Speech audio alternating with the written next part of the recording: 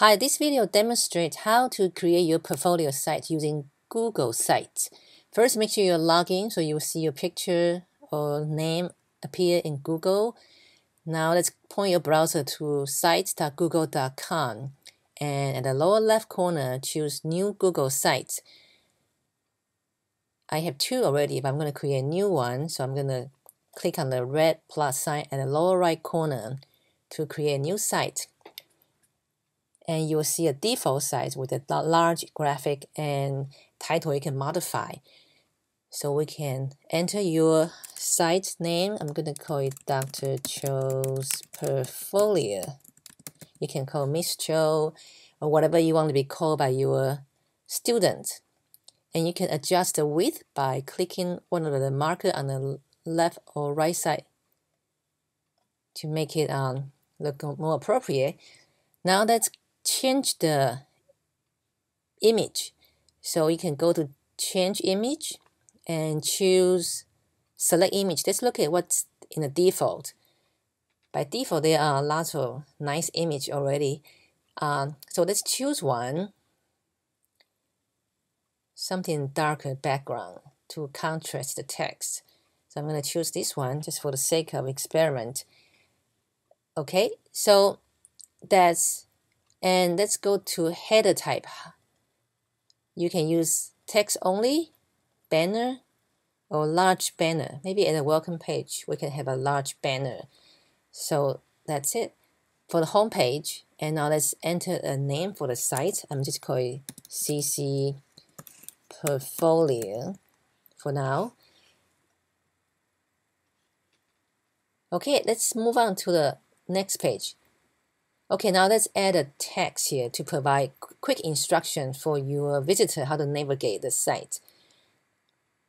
So I'm going to click on a blank space here, double click, so you have the option of you can insert image, link, a text, or upload image.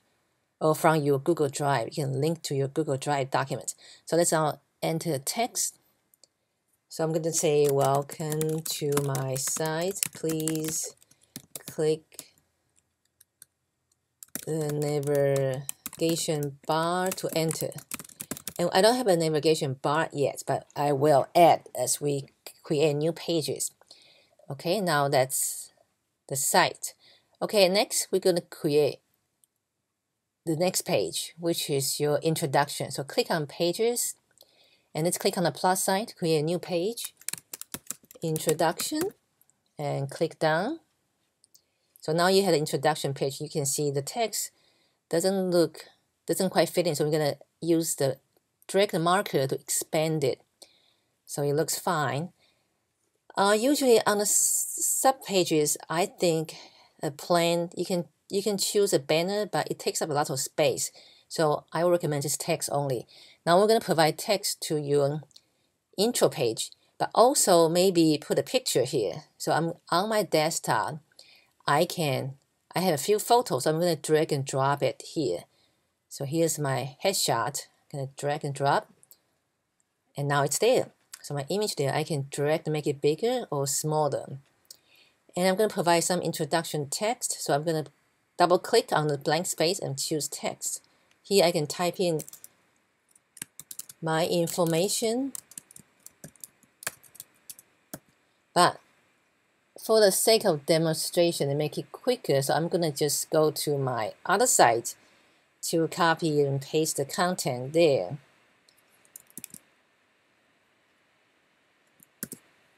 So now it's here. But let's see how it looks like in the when you publish the site. So to publish the site, we're going to click on the publish button. And now going to ask you to name your site. Uh, so you can customize the URL, I'm going to call it CC Portfolio. It's already taken. I might have used it already. CC Cho Portfolio. How's that? Already taken. Okay. CC Chow Portfolio. Okay. It's not taken. So I'm going to click Publish. So this is published. How do I know? How do I see it? Click on the down arrow next to the publish button and click on View Publish Site. Or on Firefox, I need to allow pop-up for this site. So now I can see I have this intro page. It looks okay. And I can go back to home page. It's an entrance page with a quick instruction at the bottom. Okay, so you got a basic site with your picture and your intro. Now let's add other pages. You can always change and move things around um, if you're not happy with the layout. So now let's go to pages and let's click on add page. This one will be teaching philosophy. Okay. Click on done. Now we have this teaching philosophy. Again, we need to drag it to make it um, wider so it fit comfortably in the center. Now click on anywhere in the blank space. You have the two way to insert text box. You can go click on insert on the lower upper right corner, choose text box, and then the text box will be in and the text box will be entered automatically. So again, I'm going to go to my CV, uh, my teaching philosophy, and choose what I have used before and paste. So that's your teaching philosophy. And you notice I have a quote in my previous page. So I like to keep the quote. You can copy. And I like to keep it under my heading. So I have a quote at each page. You can put it here in the main body or under the heading. Either way is fine. So I'm going to check it again. Every time I add a new thing, I want to publish, click on the publish button to make sure I did it correctly. Now I'm going to click on view publish site. So there's teaching philosophy, everything looks fine. Introduction is good, home good. Okay, now let's go back to the site. We're going to add other pages. Let's just add all the pages now. So I need to click on create a new page and put, put resume down. And then there's another one, click another new page. This one will be technology integration. We're going to put the ISTE-NET National Technology Standard. Okay, resume. Okay, looks fine. Again, go to my other site to copy my resume.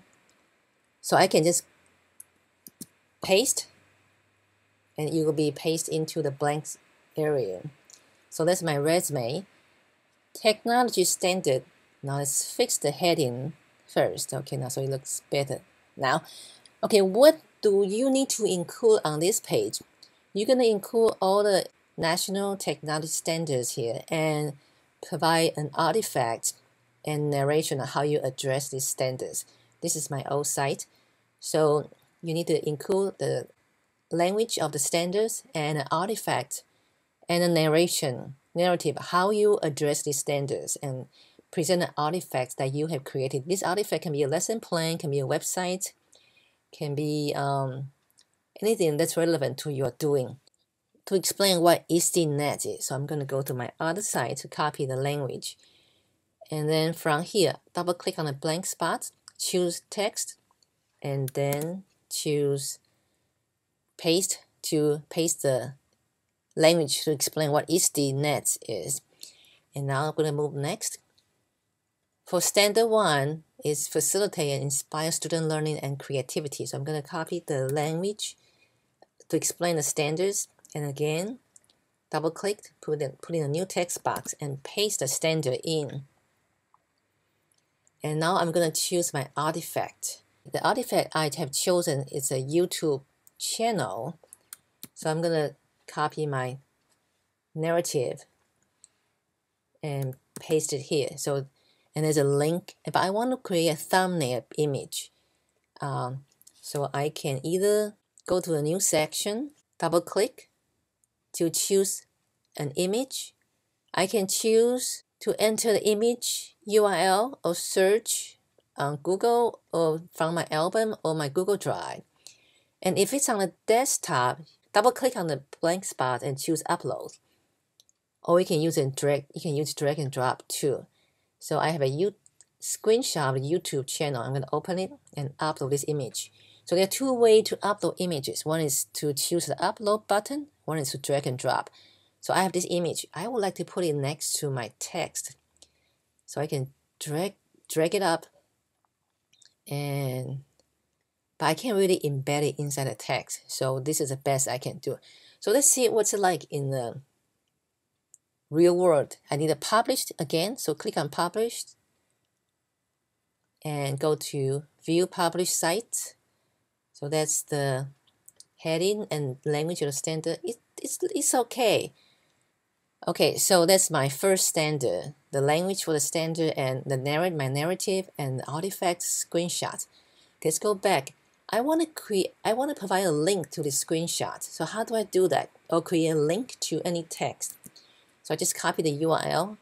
Now I'm going to select image and choose the hyperlink. Type in the URL or just paste and choose apply. Now I have this link attached to image. And to insert link to the text, I want to make it a hyperlink. I highlight it and choose from the text bar the insert link button and, and paste my hyperlink and apply. So there's a URL.